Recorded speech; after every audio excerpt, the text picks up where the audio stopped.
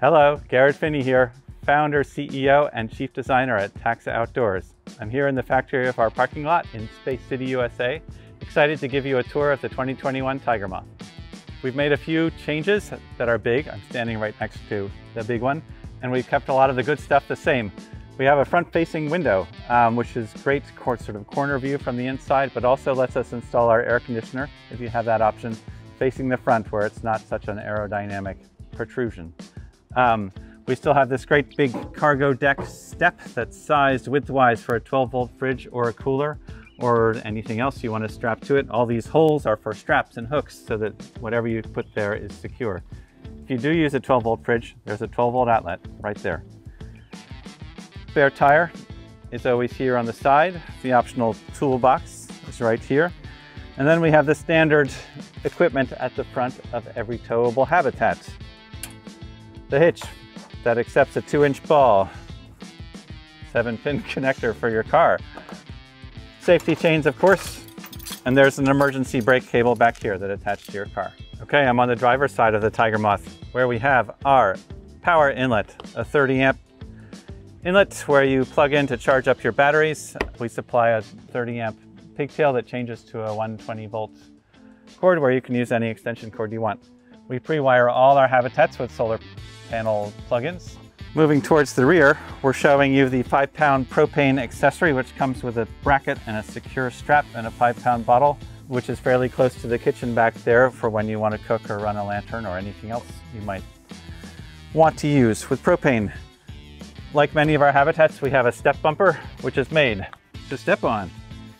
These fenders are real secure, so you can get there and you can take care of your rooftop tent or your bike racks, whatever is on your Thule load bars. Like all our step bumpers, there are lots of holes in here for straps so you can strap other things in there.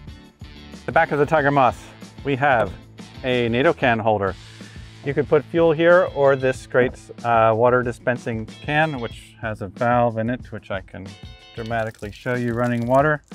Um, when we pull out the kitchen, you'll see that that makes a lot of sense.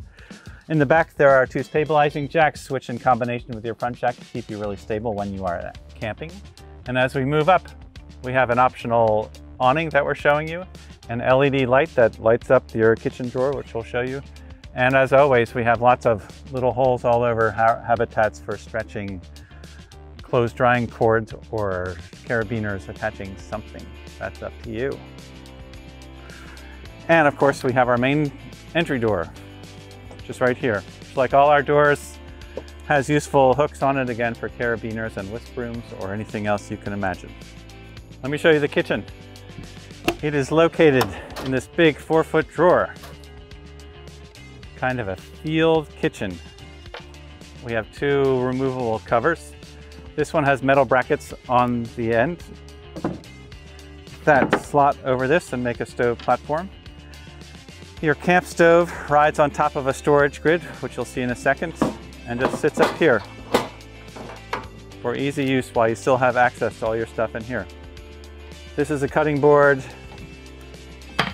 and underneath it is just a big storage compartment for food or pots and pans, anything you choose. And I'd like to show you that the four foot drawer has a locking mechanism so you can't accidentally slide it back in your habitat when you're cooking spaghetti. Okay, I'm on the campsite side of the Tiger Moth, showing you our big side opening door. Obviously, if it's closed or a terrible rainstorm, this would be uh, closed, but you still have a big window facing your campfire and your picnic table, or if you're in a place where you're afraid of bears, you might keep this closed at night. But during the day, if you're hanging out inside, you can throw the whole side of your habitat open and sit inside as if you're on a big screen porch. As part of the soft goods package are two big screen curtains that cover the big opening, so I could unvelcro this and it fills up this whole, whole space.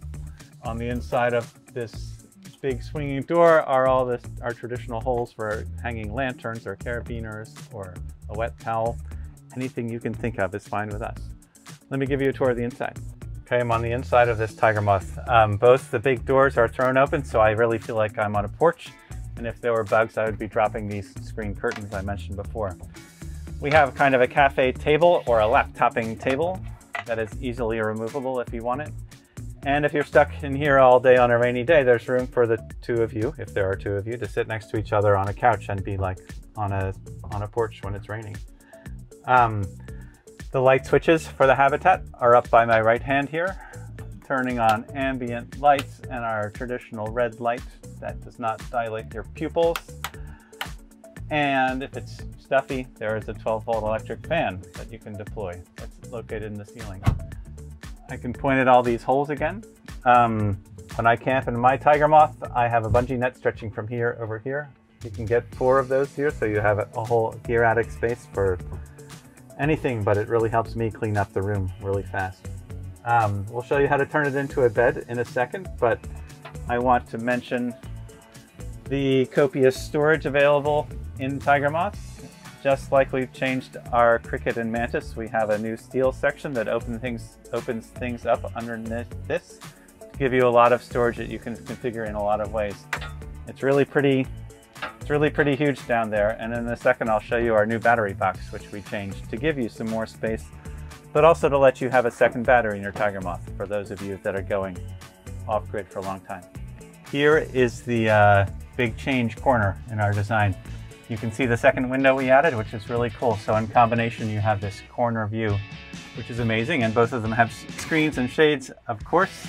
If you went for the air conditioning option, it would occupy this window. But since now there are two, you have uh, greatly improved cross ventilation. All your power center is here, your 12 volt fuses, your intelligent battery charging.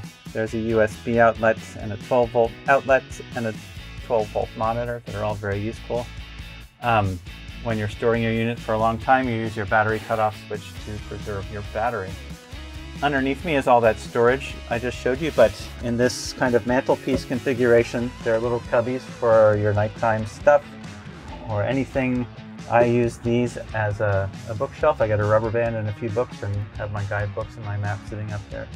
There's a slot right in front of it so you can put a tablet and lean it up against this wall to watch a movie.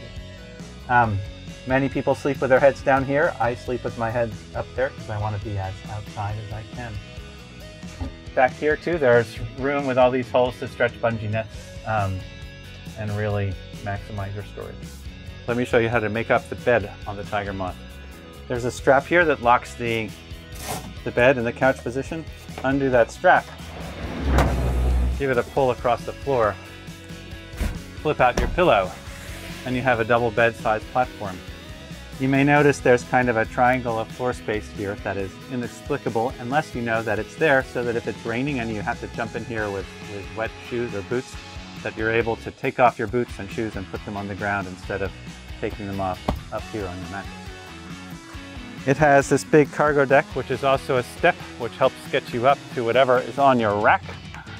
Um, these are Thule Pro crossbars. If you have those, we're showing you a three-person rooftop tent, which is an option. If you did not have a tent, these crossbars would be further back up the roof for bike racks or canoe racks, something like that. And you would have this burly cargo deck up here, which can hold a few hundred pounds of whatever you want to strap to it.